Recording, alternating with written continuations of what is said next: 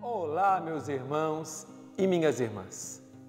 Nossa meta é a vida de santidade. O pecado, o erro não pode deitar a nossa vida. Quem tem que pautar a nossa vida é a pessoa de Jesus.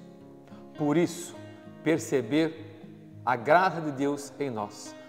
Não, podemos focar a nossa vida em fraquezas, em limitações, no erro.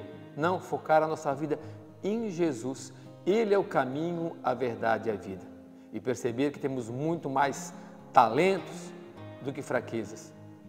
Por isso, pedir a graça ao Espírito Santo, de termos os olhos de Jesus, de crer no poder de Jesus, na ação de Deus em nossa vida e se converter, buscarmos a nossa vida nova.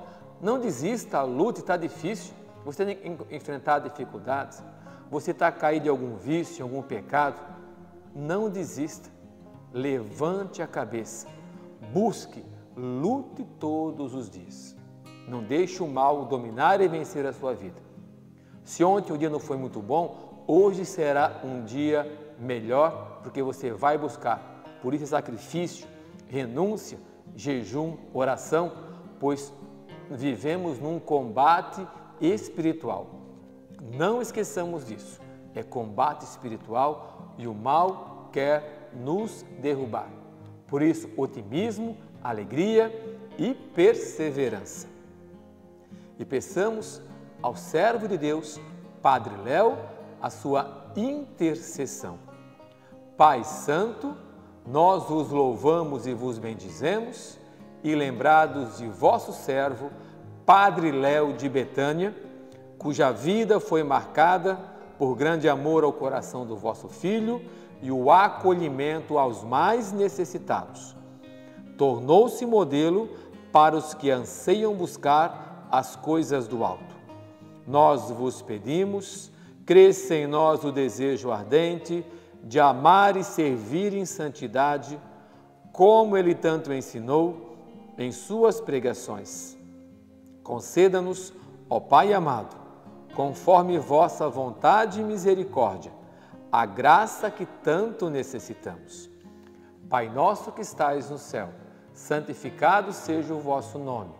Venha a nós o vosso reino, seja feita a vossa vontade, assim na terra como no céu. O pão nosso de cada dia nos dai hoje.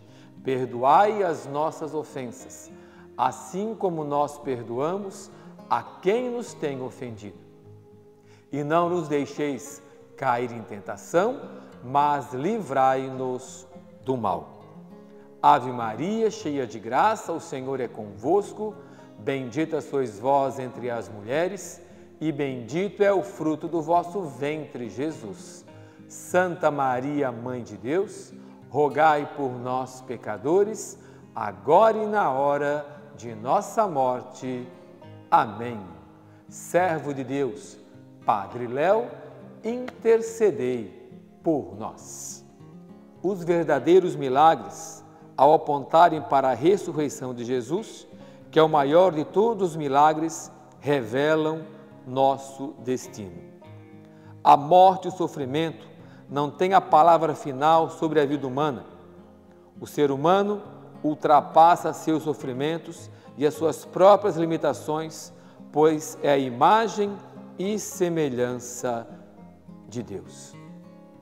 A ressurreição de Jesus é essa vida nova, é essa fonte de cura e de milagres para a nossa vida. Como em Jesus, a dor da cruz não parou na dor, mas na ressurreição. E é isso que Jesus nos aponta, é isso que a morte a ressurreição de Jesus nos apontam. Jesus foi fiel até o fim, não desistiu. Com a sua morte parecia o fim de tudo. Foi o fim para os discípulos, a dor no coração dos discípulos, mas a ressurreição trouxe a vida nova. E a ressurreição de Jesus é essa certeza em nossa vida também. Por isso, se você parece que só vê situações de morte em sua vida, se você vem vivendo isso, não vê esperança, não vê futuro, tenha certeza, Jesus vivo, ressuscitado está com você. e você vai ressuscitar dessa tua dor. Você vai conseguir ultrapassar esse sofrimento, porque Cristo venceu e Ele é a nossa certeza. Por isso, como nos diz Padre Léo, a morte e o sofrimento não têm a última palavra. Por isso, busque, creia, seja perseverante, porque o mal, o demônio quer que você desista, que você pare, que você reclame, que você blasfeme contra Deus. Não blasfeme. Respire fundo, mantenha calma, faça sua oração pessoal, um momento de silêncio e coloque todo o seu ser no coração de Jesus. E você vai vencer, você vai conseguir superar, você vai passar por esse momento. Esta é a nossa fé, é isso que nos diz a cruz de Jesus. E com este Gotas de hoje, terminamos esse mês o livro do Padre Léo, Experienciar Milagres. Amanhã, novo livro, mas que busquemos essa experiência todos os dias de ver os sinais, os milagres que Deus operou em nossa vida.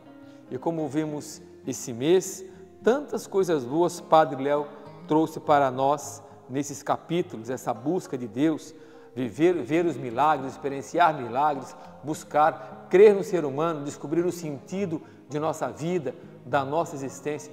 Quanta coisa Padre Léo nos ensinou. Por isso, esses ensinamentos que Padre Léo nos deixou é para isso, para buscarmos a nossa conversão, porque não estamos prontos, estamos a caminho. Não se esqueça. Por isso, se você acha que não tem surtido efeito a oração, o gotas, é porque estamos preocupados com grandes sinais. Lembrando que, como em Betânia, a marca dos tijolinhos à vista, a vida é construída tijolo por tijolo. E a nossa vida, ela é infinita por isso que todos os dias vamos, e, como construção, nunca estamos prontos. Por isso, tenha essa certeza. Deus tem colocado um tijolinho na sua vida todos os dias. Você tem crescido e não tem percebido porque não medita e não pensa sobre a sua existência. E se você pensa, estou parado, não estou crescendo, então reflita sobre isso. O que você pode, que salto você pode dar a mais na sua vida para que as coisas vão se transformando e as graças possam ir acontecendo. Lembrando que a única pessoa que põe empecilho para o milagre para a graça somos nós.